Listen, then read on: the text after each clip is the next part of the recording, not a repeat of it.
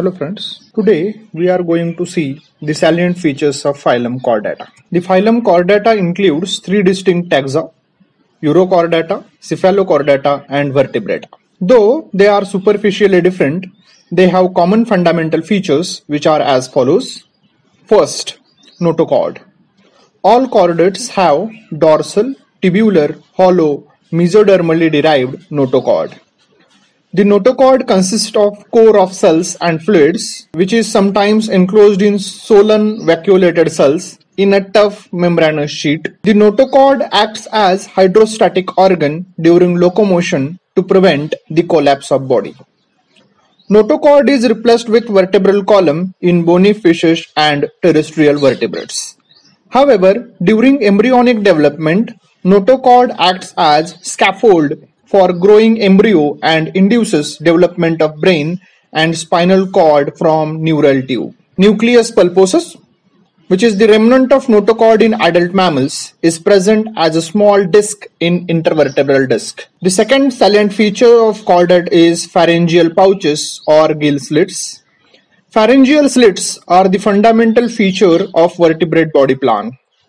These are the hole or openings in the pharynx with no apparent respiratory function. Slits are used for feeding by primitive chordates. They are either present during embryonic development or persist throughout the adult life. Pharyngeal slits serve as one-way channel for transport of oxygen and food from mouth to the slits and out. The primitive chordates utilize suspension feeding consisting of cilia and mucus-laden pharynx for food uptake. Gills of cyclostomes, that is jawless invertebrates, are medial while that of gnathostomes, which are jawed vertebrates, are lateral to the gill endoskeleton. The pharyngeal slits are developed from metamerically segmented pharyngeal arches during embryonic development. The third salient feature of phylum Chordata is endostyle or thyroid gland. Both these structures arises from the floor of pharynx and are involved in metabolism of iodine. Endostyle is a glandular groove that function in filter feeding while thyroid gland produces thyroxine and calcitonin hormones. In fact, endostyle gave rise to thyroid in later chordates. Endostyle is present in urochordates, cephalochordates and larval lamprey, while thyroid is present in adult lamprey and all vertebrates. The fourth feature of phylum Chordata is nerve cord. All chordates have dorsal, tubular, hollow, ectodermally derived nerve cord.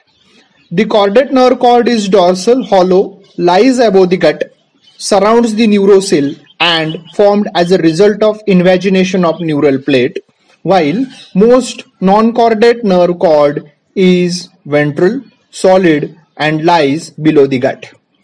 The fifth chordate characteristic is the post-anal tail. Chordates have post-anal tail which functions in balancing, swimming, locomotion, etc. All chordates show another phenomenon that is called as a segmentation. Chordates have blocks of muscles called myomeres arranged sequentially as the part of outer body wall. The myomeres present in the blocks of muscles may be straight or V-shaped. Thank you.